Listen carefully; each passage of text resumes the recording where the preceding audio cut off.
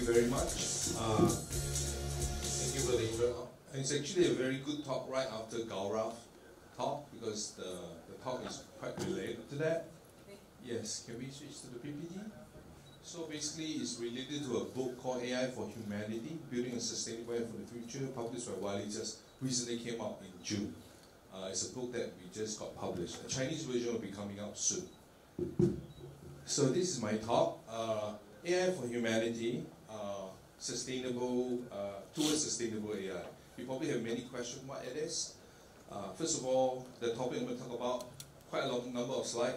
The headlines, the current nature of AI, which is Gaurav talked about some of it with Stephen Hawkins, what are the dilemma we are facing as humanity, and how do we build towards sustainable AI. In fact, in the in the uh, WUWA uh, application, the apps, I asked a question: Is AI a type of cognitive XR? Because XR, a lot of them are very visual. Is it a type of cognitive XR? Uh, that is actually a tool that is actually interacting between us and them. So uh, AAA is a think tank, private think tank that I started about eight years ago. We actually do a lot of thought leaderships and also ecosystem engagement like this, as well as advocacies in terms of some of the initiative we are working on to make sure that we humanity are mitigating our risk as what Stephen Hawking has been talking about. So this is how the book looks like. Uh, what is sustainable for humanity, which is a mission that we do for our think tank, is to align uh, AI to humanity values based on governance. I've been talking about it for close to 10 years, but very hard for people to understand until about two years ago when ChatGPT came out. I don't have to explain myself anymore. Second uh, is about the sustainability of AI. How many people know AI has been around for 70 years? Okay, good.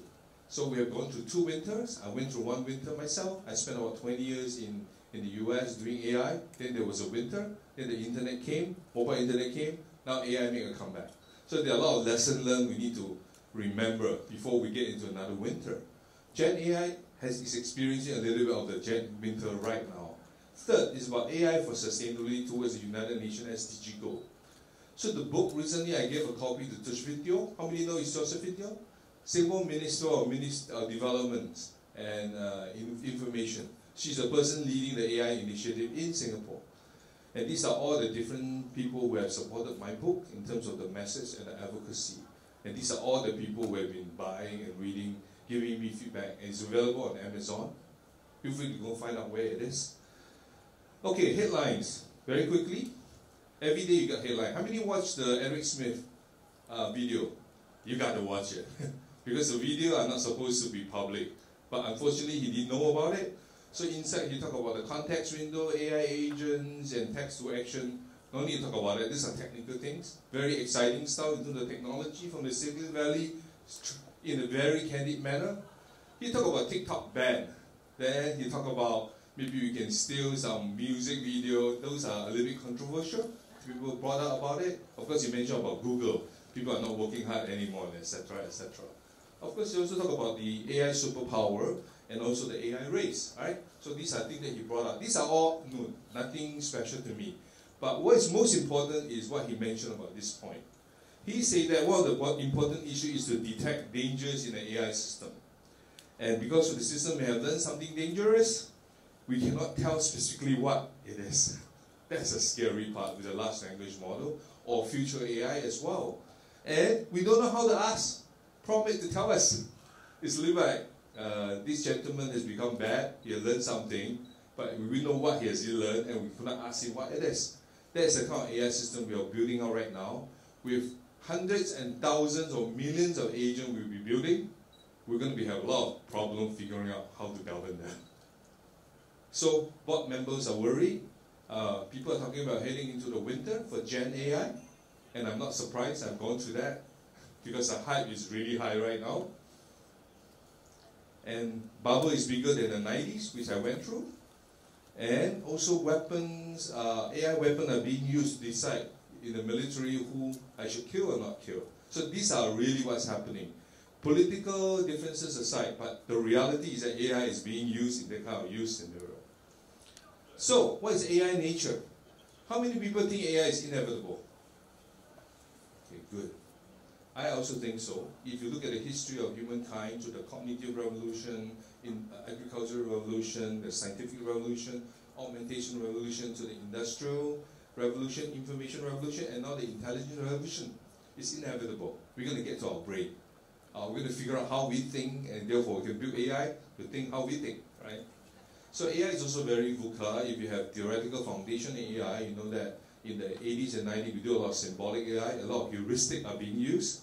Now we're using uh, deep mind, uh, deep, deep learning, very statistical. We don't understand how it works. Now with the big uh, large language model, it's even more VUCA. So this is a history of AI, the chart that, uh, that actually inside my book. Somebody draw this picture beforehand, a few years ago. So can, we see AI has gone through multiple boom and winter. And uh, so basically there's this period, uh, before I go there, there's this second uh, boom. I was there. I was in Austin, Texas, in the research lab, doing AI research, the most advanced AI research there. There is uh, something called FGCA, a fifth generation computer project started by Japan during the US China, uh, Japan Tech War. There's a thing called MCC, there's a research lab in Austin, Texas, which I was member of the scientific team. Then uh, later on, you see AI went into the winter. Guess what? It was AI in disguise. There's the most famous AI company uh, we have been using the application called Google, right?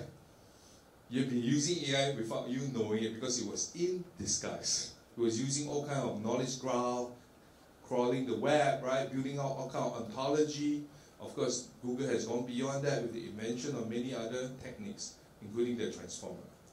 Then, of course, a lot of research think tanks started. In fact, the most advanced is 1993 in Mila, in Montreal. They are always ahead. The Canadians are very good. They are always ahead in many thought, in deep learning, also now in ethics and many other things. So these are many research uh, think tanks have started, and I started AIII in 2017 in Singapore because I felt we need to do something, at least in Asia, what we learned from Canada, how the US and the Western country have been looking into AI ethics and governance. So, is AI sustainable? Uh, what does it mean? I mean, can it continue without going to a winter? Well, technology-wise, well, there are papers published saying that hallucination cannot be solved. it's too statistical. There are always some problem, no matter how you fine-tune it. The AI model will collapse if you keep use a lot of data that we generate to feed the data. So there are theoretical foundation for that. Is it commercialization? Is it commercially sustainable? Look at OpenAI as an example. Started at the non-profit, become profit, non-profit, hybrid. There was uh, Sam Altman's being fired last year. He was reinstated. Then they introduced the Super Alignment Project. Then he was cancelled. Very vocal, right? The most advanced AI company is facing all kind of problems. Now you can imagine the future world with thousands of startups like that or companies. And then they form a security board, safety board. Then they say they have a 90-day plan to fix it. Then they, they designate a national security person to take over. Very interesting. Now they say that OpenAI is going to run out of money. So AI is a very, very complex. Most successful the company will not survive. We do not know. Uh, but there's a good sign of commercialization. Of course, Ilya, which is the one of the co-founder of OpenAI, chief scientist, he left. He started a safe, super intelligent company, SSI. I think that's one of the most frontier AI projects in the world right now. Guess what? It's all about governance. It's not about how powerful it is. It's about how do you make sure it's safe. And we should all be concerned. You should watch this company. It's still in stealth. We don't know how Technique is doing it. There are different people in the world are working on some of these projects. That could be could become the next frontier in AI research and startup. Governance, even more VUCA. The whole Davos in January, World Economic Forum has become an AI conference. Everything is about AI. Guess what? The United Nations have to form another organization, a big bureaucracy, but they are so concerned. Of course, Chinese government also started the governance for the world, right? I think Xi Jinping has mentioned that. Then Henry Kissinger went to Beijing talking about talking about US and China need to work together because this is a nuclear technology to define our geopolitics since the Second World War. He was 99 year old. He went to deliver a message to warn all the political leaders, please take care of common people like us. Don't make mistake like nuclear technology. Then the Pope started to talk about AI concern ethics and call it algo ethics in G7. So when he comes to speak, something must be of great concern to him. Then, of course, uh, Geoffrey Hinton from uh, the Turing Award winner, he mentioned many risks I think Gaurav was talking about. He was actually on the side of, uh, don't worry about AI, it's going to be okay. After the invention of ChatGPT, he started to get really worried. Eh? Agree or disagree, he's not a dumb guy. he's the scientist who invented deep learning. Eh? Pay attention. Of course, Elon Musk have been talking about it 2017. Like or don't like him, he's very honest to tell you what he thinks. Okay? Of course, Stephen Hawking, the scientist, I think Gaurav mentioned that earlier, he was warning us in 2014. He's a physicist. He said it could be the last thing we human invent. So it's not so AI next phase development is not about government, it's about individually we need to do something because everything we do or action or data matters. So AI is at a crossroad. So to be or not to be, that's the question. I'm going to phrase it as to AI or not to AI. But humanity's nature, we don't have the choice. We will do AI anyway. But we need to figure out how to make sure we do it safe. So, the concept in my book I talk about is AI dilemma. Whether you look at surveillance system using computer vision, in some culture in Asia, we think less monitor us, make sure the bad guy are all kicked out, right? In the US, privacy is important.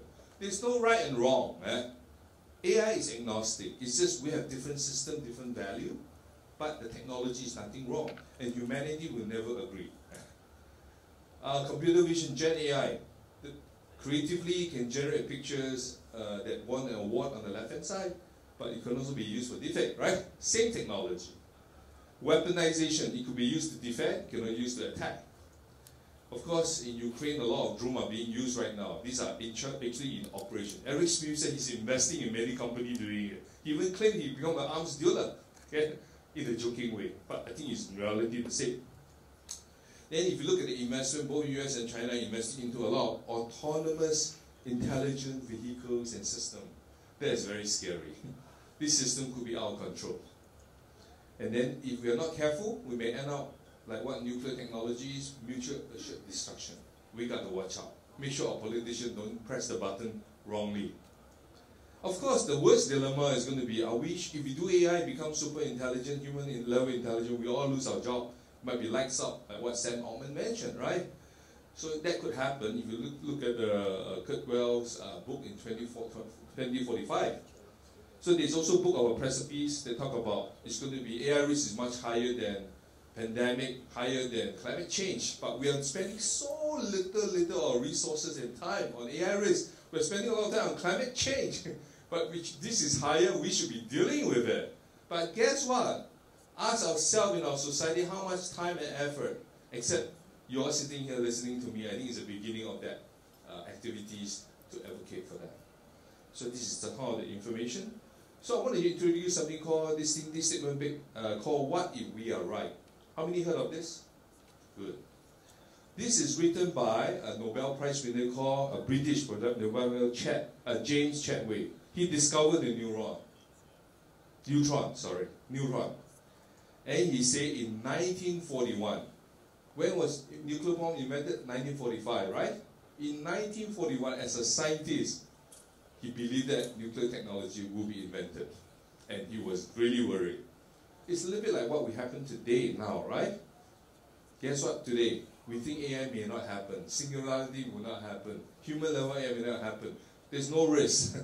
but if it happens, what if we are right? It happens everything will be irrelevant. All the money you make, all the children you make, it doesn't matter anymore. Okay?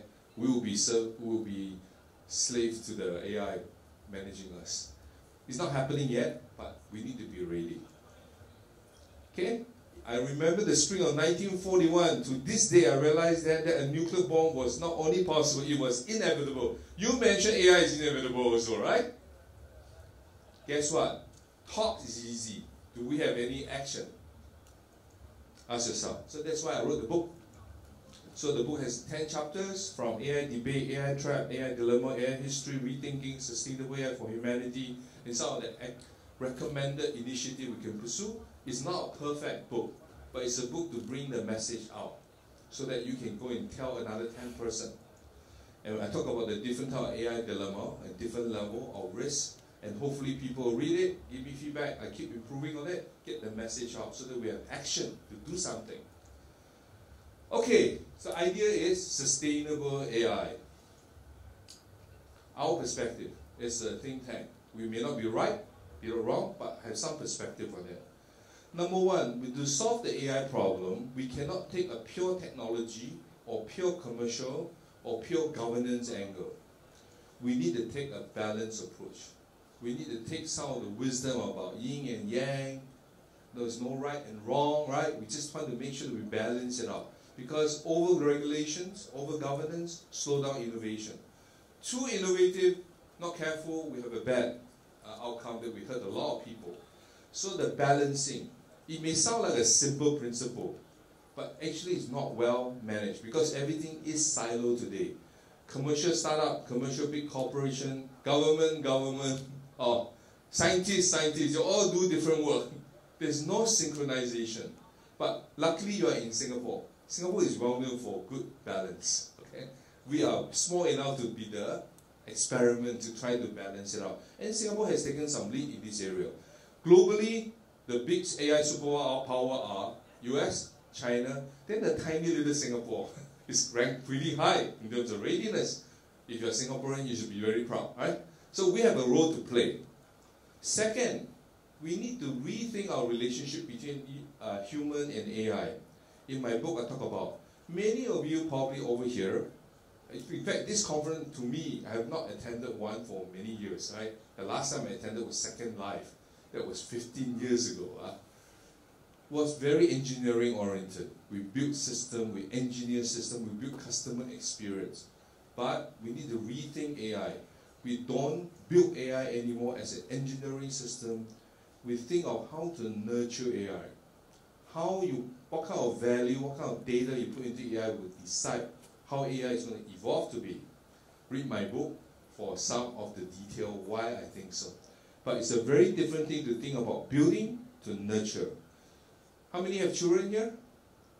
If you have children, you never build your children or create your children. You nurture your children. And you nurture them to be independent at some point.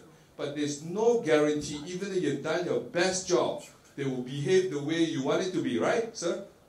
Exactly. That's why we need to be ready. You should be, have other measurement in case your kids didn't do right and you can help them or to make sure they don't do things to harm you as well, right? So these are things that we need to go and think through. It may sound like a simple principle, but that is not the approach being taken right now. Where if the technology people are building it just like a tech and engineering system, it's not nurturing. It's just build it. That's your problem. Governance is your problem. Maintenance is your problem. That is wrong. Because AI will keep evolving. Every second right now with the large language model or the GPU is computing, it is evolving, and nobody know what it's going to become. So that is one principle. Second, how many heard of hybrid AI? How many heard of neuro-symbolic AI? How many heard of symbolic AI? I'm sure you heard about deep learning, right? Right now, uh, I've been advocating for many years when deep um, uh, learning come along, I say you need to have a hybrid model. Luckily, there is a Nobel Prize winner called Daniel Kahneman. Uh, uh, He wrote a book called Thinking Fast and Slow, talking about how we human think fast and slow. I'm not going to get into that. You need to have different type of AI that we can manage. That's why I think Gaurav talked about the large language model. The foundation must have some reasoning. Reasoning is kind of symbolic representation, right? So these are things that we need to develop as a hybrid AI and Fortunately, recently, DeepMind released a new paper called uh, New System Can Solve Complex Math Problem. Inside there, other than large language model, what does it have? You have something called alpha proof and alpha geometry. Yeah?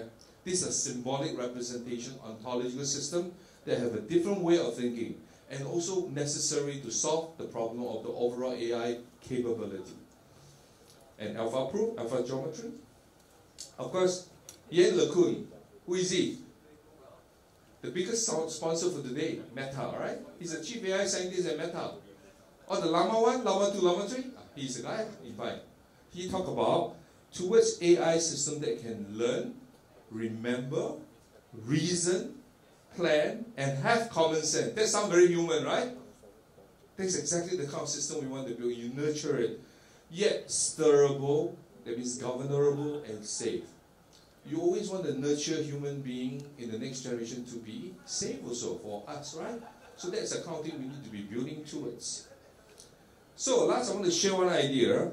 How many people want to make money with AI? One. You can find on YouTube. A lot of them. Seven way, ten way.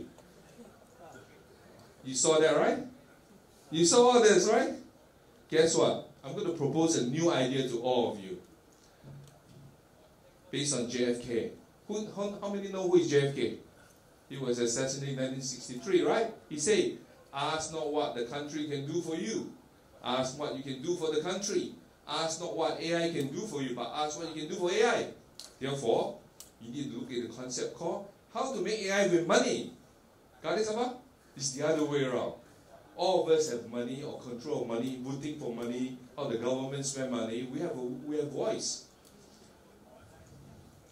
So I personally advocate that we need to shift from a traditional business model, which I'm sure we are discussing in this conference. Every moment you're inventing a new startup, into what we call a humanity first impact funding model.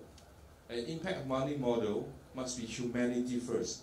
Not, you cannot be, build a company just to make money. Of course, you need to make money to survive, but you need to remember the impact comes first. Impact includes purpose as well as profit. Eh? You need to make both.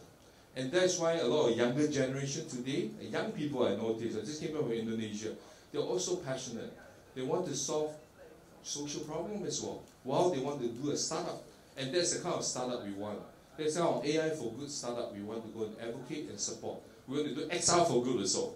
Maybe there will be a new movement in this conference called AWE XR for good. So the in, uh, quickly on the humanity first impact funding model, basically how do you balance between public money, philanthropy money, private money, and public market? More detail, you can read my book, you can come talk to me. I'm not going to go to more detail, the 4P model. So last but not least, I want to talk about something that uh, Bill Gates talked about. Recently he came and talked about. Then he said that, well, the large language model is going to have two more turns. That's it. I also believe in that. This whole foundational model is going to hit a limit because it's just a scaling law. But he did talk about something very interesting called the metacognition. He said AI needs to develop more R&D on metacognition.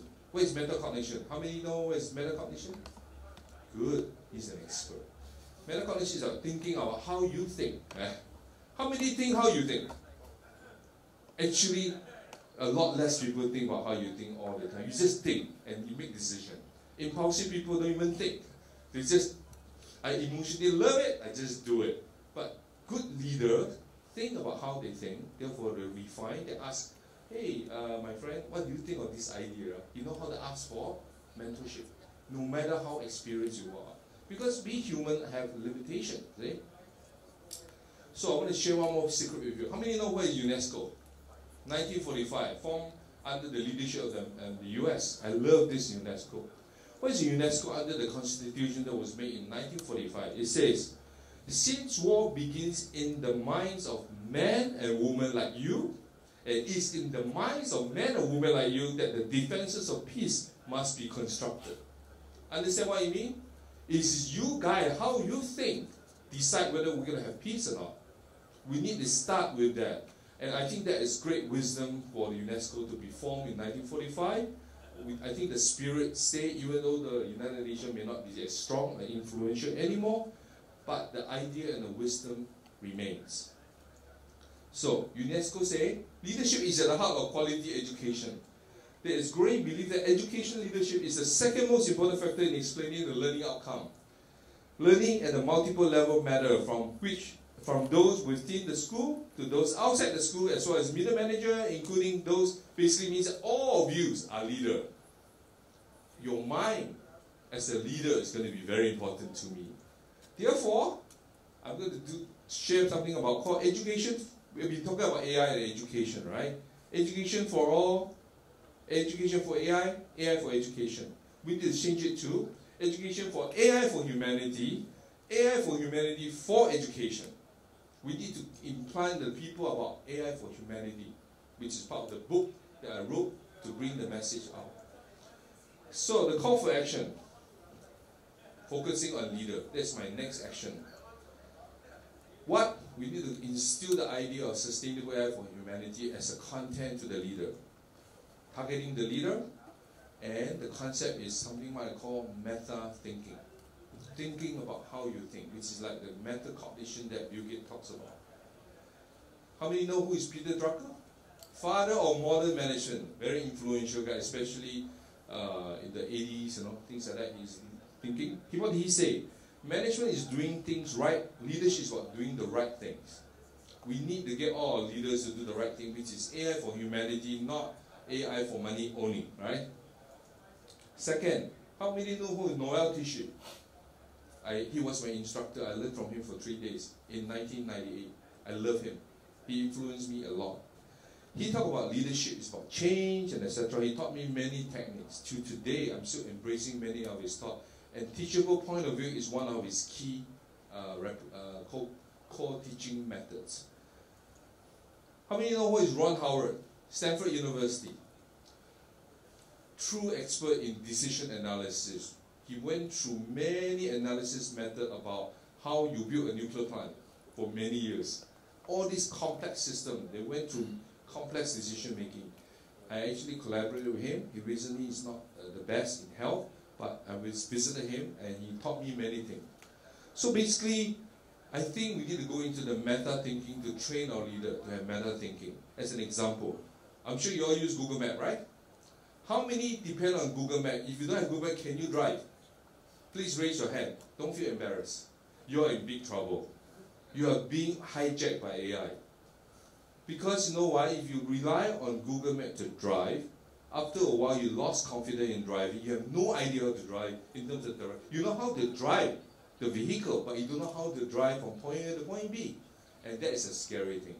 Now, this is a small example of how AI being used in humanity if all the whole world decide in everything we do, including Google Map, we are in big trouble. So if you want to be leader, I'm sure you use this wheel a lot, right? Turn left, turn right. This is a lazy man. I also become lazy. It's human nature. You turn left and right, then if you're lost, ask Google to tell you how to reset and all and etc. Right? If you rely on this mode, you're in trouble. You're too dependent for AI to make decisions for you. How many use this view? This is called the meta view. You look at point A and point B, how do you go? And sometimes you say that, hey, why do you take this route? Google, you're wrong. Based on my human experience, this is a better route. Because I know that there's a bomb there, there's a construction going on there, right? You need to practice more meta thinking in terms of having a meta view. Now, that sounds like simple Google Map. But with AI infiltrating into our society and every decision, whether to yourself, uh, the decision make for yourself, for your investment decision, for your career, for you as a leader or CEO of a company, you'll be making more and more decisions based on AI. And if you don't have the meta level thinking, you're in deep trouble. And I'm trying to get this thing into every leader I know, starting with 20 or 30 of you. But you have responsibility to get to another 100 of them. Please, it's a very simple concept. Just use the Google Map as an example. Because you yourself admitted that if you are rely on Google Map to drive, you're in deep trouble. Today, suddenly there's no power. Google went crazy. You know, Google algorithm may not work all the time. Something it went crazy, especially under the tunnel. Very scary. It went berserk. So, I'm actually working on a new theory called a new theory called on the future of leadership with AI for humanity because my first action of delivering impact is to from the book in terms of the content into the mind of the leader. Thank you very much. You have any questions?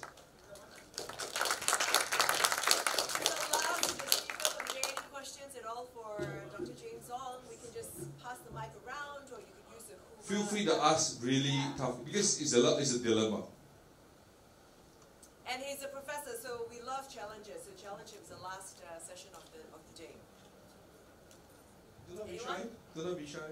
This is the only chance. You can use ChatGPT to. Uh, I think we need the mic here.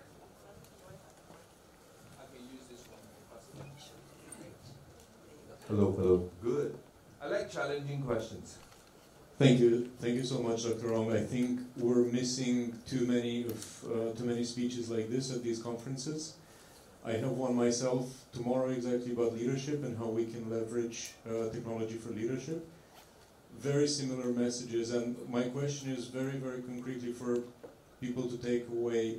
What would you recommend people to do when they get home now, when when they go to the office tomorrow? Like very, very hands-on apart from ordering the book, which I will do immediately after I get out of Amazon and buy. Well, you can find it easily. Yeah. Uh, you asked a very good question. When I decided after finish writing the book, express my thought, which I'm promoting, to get it out, I realized that one of the most important things is get to the head of the leaders. That's why I'm focusing on leadership part of thing, a new theory of leadership.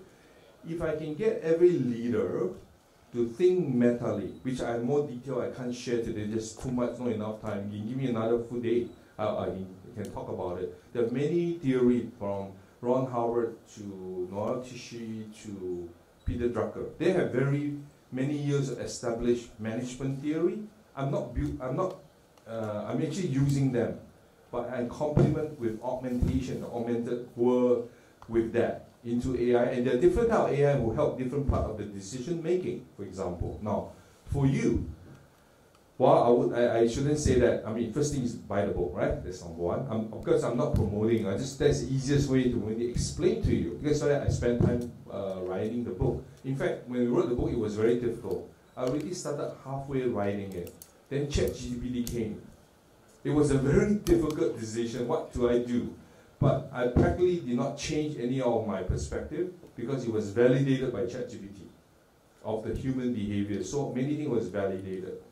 So I would say number one, um, if you have the action, if you ask me for action, one of the most common questions asked of me is parents about their children's education. and then the ethics of should they use it? Is it considered as cheating? That's the number one question. Number two, what kind of, what kind of thing they should be studying for their future? Of course, people have been talking about you need to have critical thinking. Critical thinking is not good enough. You need to have meta level thinking. Critical thinking is like you not need to think how to ask questions, but you need to know your way, how you think. And most people cannot visualize how they think. That's why I talked to Ron Howard. Ron Howard has a whole complex theory of how people make decisions and how to make ethical decision. And then you really work out a system. And those systems are actually very helpful. Now, in education, we need to train people to understand that now. No longer it's an option. You cannot, you cannot manufacture or nurture children just to do things anymore, just like your helper.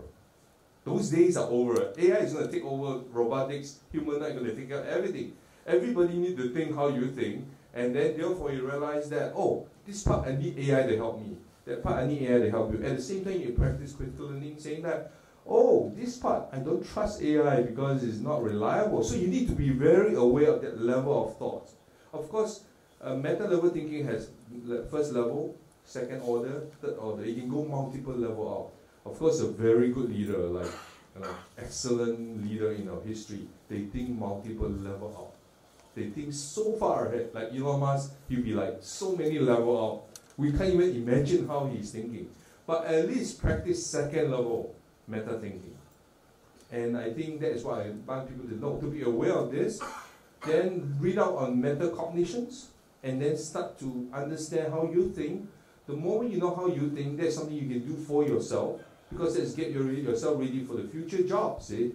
At the same time, now you know how to apply AI in the, in the places where you need to make decisions.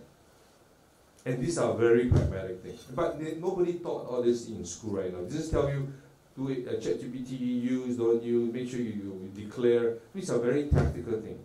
Ultimately, you can run away from technology, just like we can run away from calculator or PC or your handphone, right? Or Google search. Hopefully that answers your questions. Thank you. It's immediately you can do. And I really meant what I say. Because I practice a lot of meta thinking myself ever since I was born. Because I'm born with that, basically. I'm already self-aware. Yeah. Any other question? Feel free to ask. Challenging question, I love it. Disagreement, I love it even more, actually. So and it's our last uh, session before dinner, right? So, you know, you should uh, okay. How many? Answer, let me accelerate your metabolism. Okay, yeah, go, ahead. go ahead. You have any concrete examples of how we can change the way we educate like the young generation in order to do this? Concrete example, uh, I always practice my children with meta thinking, literally, ever since they were young.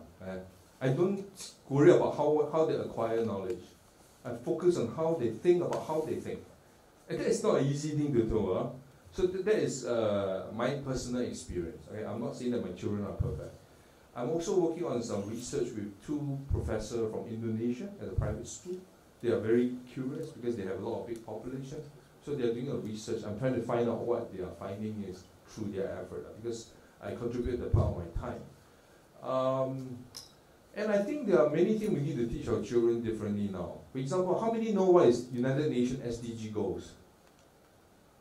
Oh, okay, only 30%. This information are not even out there. Do you know why the United Nations SDG goal is incredible? It's the first time 8 billion people more or less agree on this thing and has not changed much, you know. Or more or less we agree these are the things that we all agree.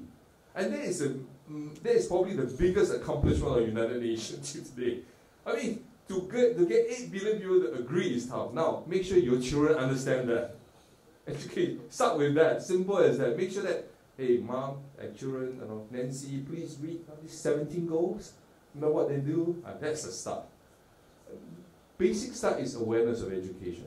Aware that of this thing, aware that meta thinking is important. But not children is tough because you get to the parent first. But the parent is the one hard to change. That's why I'm focusing on leaders. I, I want to develop a new leadership, a future of leadership based on the new era of AI. Because all leader has to be will be changed. Because a leader doesn't have meta level thinking, you're not going to stay in your job for too long. Right? And by the way, uh, let me ask a question. How many of you are worried about AI? Please raise your hand. Be very honest. You see, that, that's my concern. Because the people who raise it, I would say, you have thought through it. If you read my book, I say AI is digitally organic. Do you know what is digital organic means? We human are organic, right? We keep learning, we keep evolving, we keep mutating to our DNA. We keep learning. We're different from any animal. We write books. We write things down so we can pass to the next generation. It's transfer knowledge and transfer experience as well. In addition to the DNA. AI is going to be doing on steroid. They'll be learning so fast and they keep evolving with all the IoT, other than learning from human data, human curated data, or IoT data from the environment, they're going to learn from animals. They're going to learn from plants. They're going to learn from the aliens through the telescope. And we human can't even do that. There's no way we can keep up with the learning. And also, you, you read uh, what Elon Musk has done and also what Geoffrey Hinton mentioned. If there are 1 million Tesla cars driving out there, all of them are learning in 1 million time.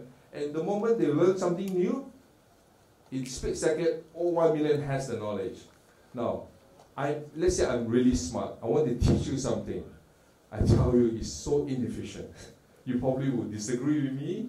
You probably don't understand what I'm talking about. How the human connectivity in terms of learning is very, very, very, very slow. We are like snail compared to uh, AI learning. But AI has other limitation. And we need to think meta level thinking. In fact, you guys heard about uh, a case, right? AlphaGo beats a human, right? Sedol. Then, uh, then Alpha Zero beat it again. Uh, then suddenly somebody, uh, I can't remember the name, it was in my book, who actually picked uh, another AI to figure out how they defeat it, and he defeated AlphaGo. Ah, that human can do something like that. It's actually in one of my chapters. I can't remember which one now. So these are example of where we humanity got to go and think of something that is unique to ourselves. Thinking meta level thinking is not easy. Huh? Try it yourself. I also find it difficult. Okay?